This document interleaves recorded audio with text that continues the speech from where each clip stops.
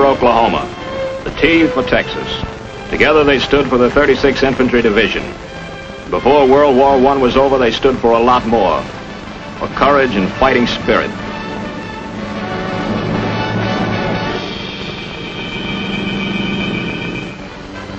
The 36th was formed in 1917 from National Guard units out of Oklahoma and Texas. But its ancestry goes a lot further back, to the Texas War of Independence, and every war since then. As a division, it distinguished itself in World War I. When peace came, it was disbanded and the men returned to their homes and jobs.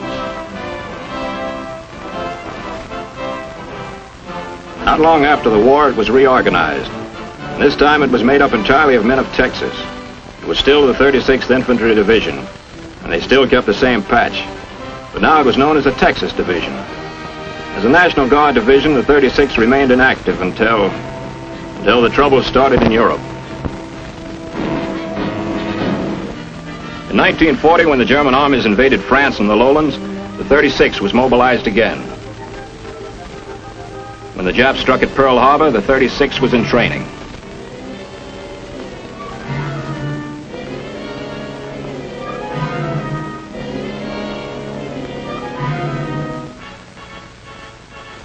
A year later, they were still in training.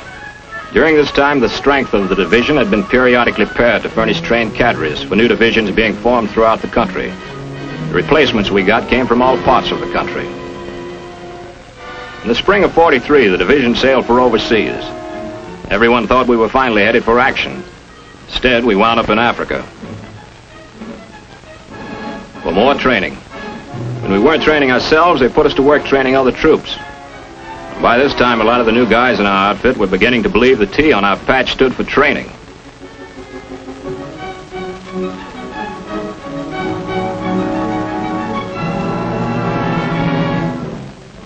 It was fall before we left Africa, and this time there wasn't any doubt about it.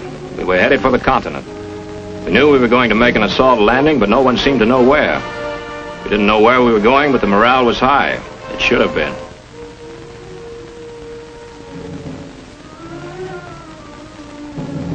We figured we were the best trained outfit in the Army. A few days before we landed, they told us we were going to Italy for the first crack at the mainland.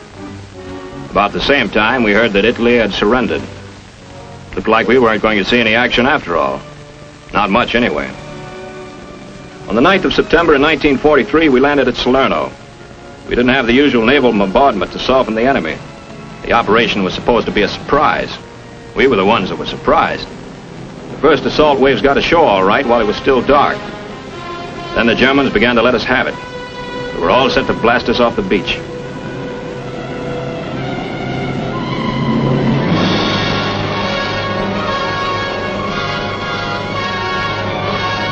Between their artillery in the hills and their planes overhead, they almost succeeded.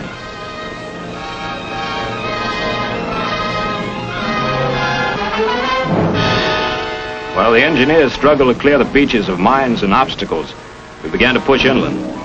The Germans were waiting for us with machine guns and mortars. We finally got some artillery ashore, and that helped a lot.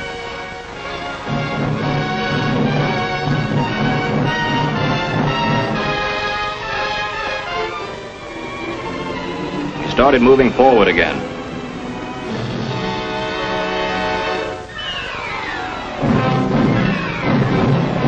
Germans attacked with their tanks.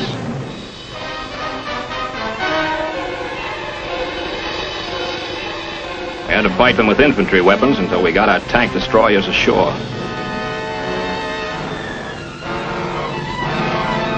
And with the help of the naval guns and artillery, we finally drove them off.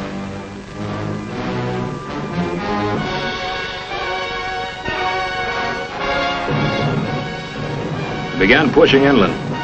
Now began the bloody fighting for the hills around the beaches. We took them one by one. Hill 140. Hill 386. The fight for Hill 424 was a tough one. We took it and lost it.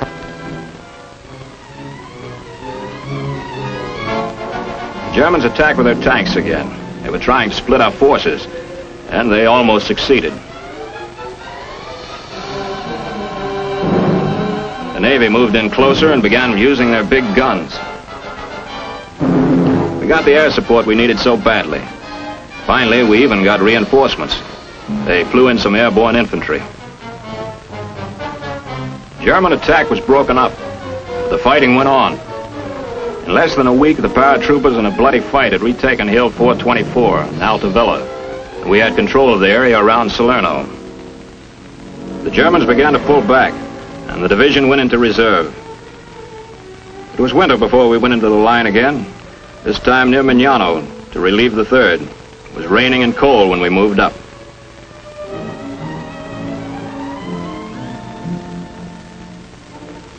The German winter line stretched in front of us, blocking our advance to the north. Our job was to break through. To do this, we had to drive them from their fortified defensive positions in the hills. There were three of them. With the help of the largest concentration of artillery since El Alamein, we took the first one, Mount Camino, Missouri.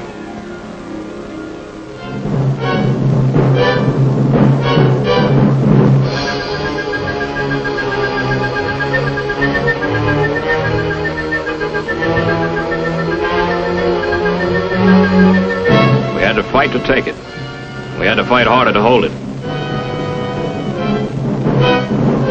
Mount Sammucro, Hill 1205, was our second objective. It was higher and better fortified. We had a tough time taking it. Mount Longo was the last German position blocking our way to the north. An Italian brigade had tried to take it and had been cut to pieces. We were more careful. We moved up the back slopes of Mount Longo under the cover of darkness and attacked at dawn. We surprised them and took the hill without a fight.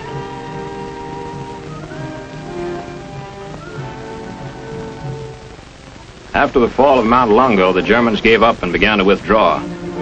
And San Pietro, the little town dominating the main highway to the north, was ours.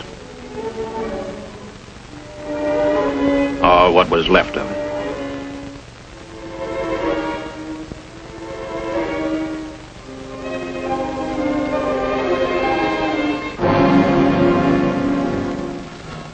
Battle wasn't over. The Germans were fighting bitterly to cover their withdrawal.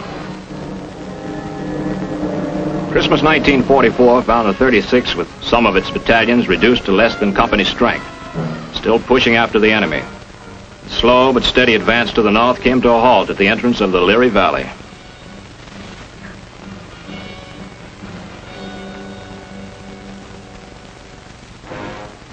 Germans had prepared a new line of defense along the Rapido River, and they were waiting for us.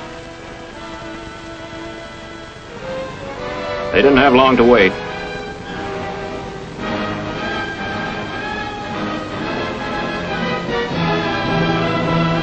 We attacked twice.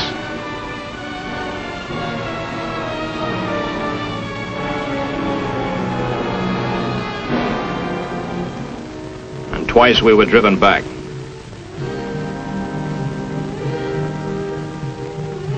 Quite a few of our men got across the Rapido,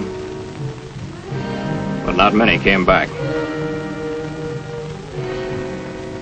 After the fight at the Rapido, what was left of the division was sent to Sant'Elia in the north.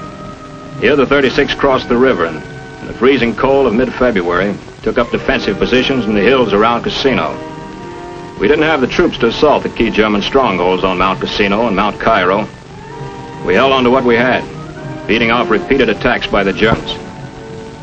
The Air Force tried to get the Germans off Mount Cassino. The historic old Benedictine Abbey was destroyed. When it was all over, the Germans were still there. Near the end of February, with only a fraction of its fighting strength left, the 36th was relieved and sent back to Naples to rest up. Two months later, after refitting and taking on replacements, the division sailed for Anzio to take part in the May offensive.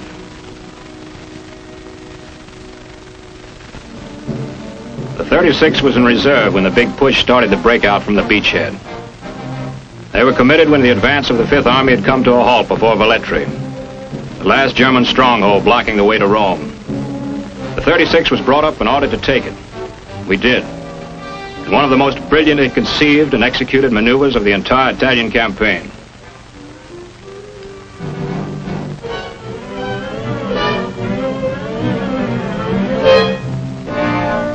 The attack became a mass infiltration by the division. Under the cover of darkness, we moved through the enemy lines and occupied a high ridge overlooking the town. The engineers put a road in, we brought our guns up. The Germans didn't discover us until the following morning. Then it was too late. They attacked.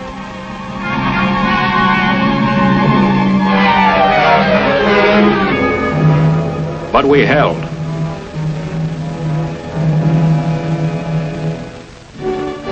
And the following day, our troops entered Velletri.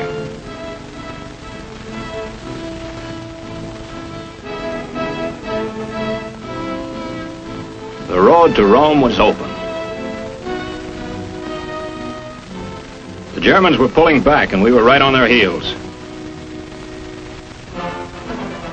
The Romans had already started celebrating their liberation when we entered the city.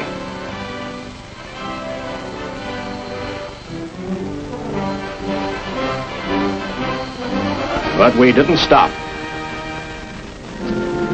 We kept right after the retreating Germans, fighting their rear guards. By the end of June, we had reached Piombino. It was the end of the line for us. The 36 was relieved again. We returned to Salerno to prepare for another assignment. In mid-August, after a month and a half of training and refitting, the 36 sailed for France as part of the 7th Army. Our assignment sounded good. We were going to the Riviera. The only trouble was the Germans were still there. We only hoped they were so busy with the invasion in Normandy, there wouldn't be many of them in the south. We went ashore just below San Rafael. And this time there was heavy naval and air bombardment.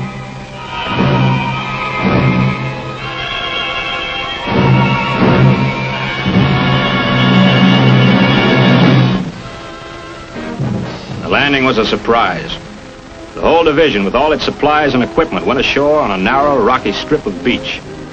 Took the key points along the shore and headed inland.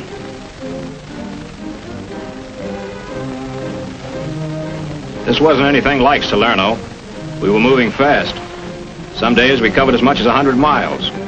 That was a good reason for speed. We were racing to cut off the German 19th Army, which had left the Marseille area and was trying to get back to Germany. They were following the Rhone Valley. We caught them north of Monte Montélimar. While our reconnaissance elements blocked the main escape routes, our artillery went to work on long columns of enemy vehicles that jammed the roads bumper to bumper. Now it was our turn to do the chopping up. They finally broke through, but it took them eight days. And they left a lot of their troops and equipment behind. We chased what was left of them as far as Luxeuil-les-Bains, and then the division stopped for regrouping. When it started out again, the 36th was spearheading the 6th Corps attack across the Moselle. In preparation for the crossing, we attacked Remiremont and Éloyes.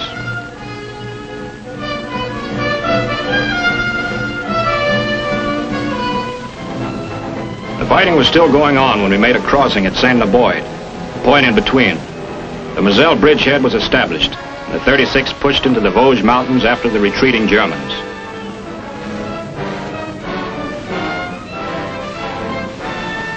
And the Vosges, advance suddenly slowed down to a crawl. The terrain was bad and it was getting cold.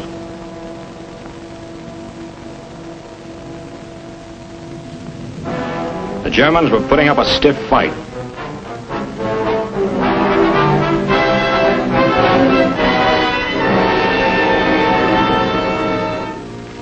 Clearing the Vosges hills was slow and treacherous work.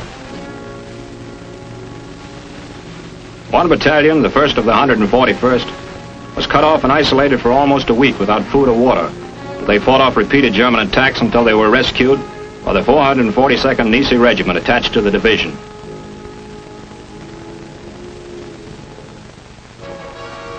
By the end of November, advance elements of the 36th had reached the St. Marie Pass the highest and narrowest pass of the Vosges Mountains. It was heavily fortified, and the Germans considered it impregnable. The 36th was ordered to take it. We attacked with a combined assault and flanking movement we'd used so effectively in Italy. It worked. They told us it was the first time in modern history that pass had ever been taken. Winter set in, we took the city of Sélestat and went on the defensive. Guarding a front line over 50 miles long. Early December saw a bit of fighting all along the line. And the Germans counterattacked.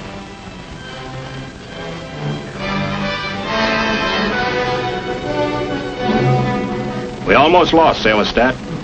We kept it by turning every house we occupied into a fortified position. By Christmas time, the German attack had let up.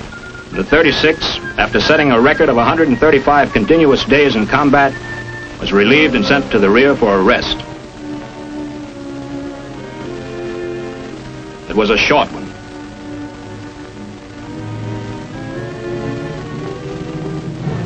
On New Year's Eve 1945, the Germans launched a full-scale attack, which threatened to cut off and encircle the entire Sixth Corps. The 36 was immediately recalled and committed. The cold was so intense, the regiments on line duty had to be rotated almost daily.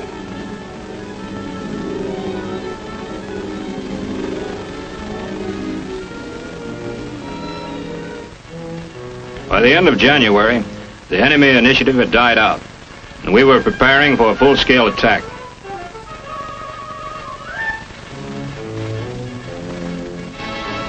Early in March, the 36 broke through the enemy's defense line along the Moder River.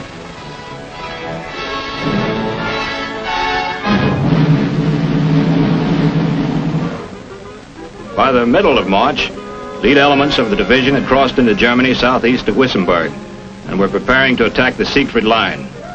While the lead elements tried to breach the line in the flatlands, the others took to the heavily wooded hills and attacked the heights, which were important features in the enemy's defense plan. It was a slow, costly fight, struggling up the steep wooded slopes, always under the German guns, locating them and then reducing them one by one.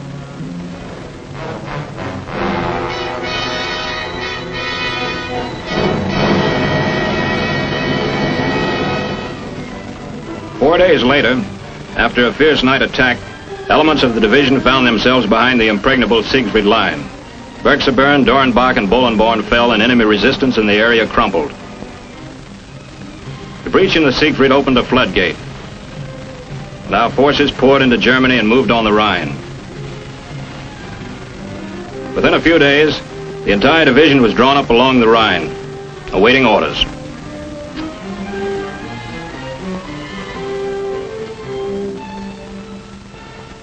For the 36, it looked like the fight was over. They received their first rear area assignment, occupation duty in the Saar Basin.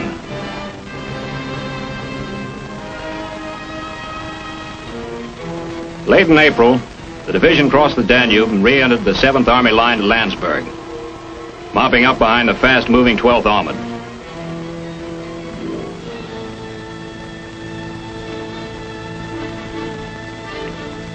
There was more mopping up in Bavaria. Early in May 1945, we were in Austria. We were busy cleaning up when the war ended. The 36 moved rapidly those last days of the war, but its time was profitably spent.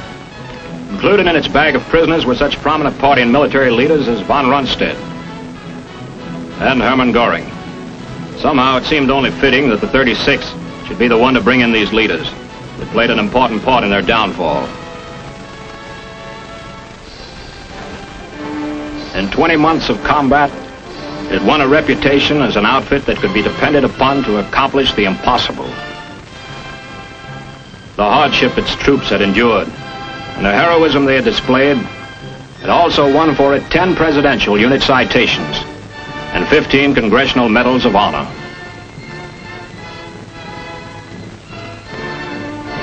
The cost had been high, some 27,000 casualties. But the 36th Infantry Division had earned the right to take its place among the great fighting outfits of all time.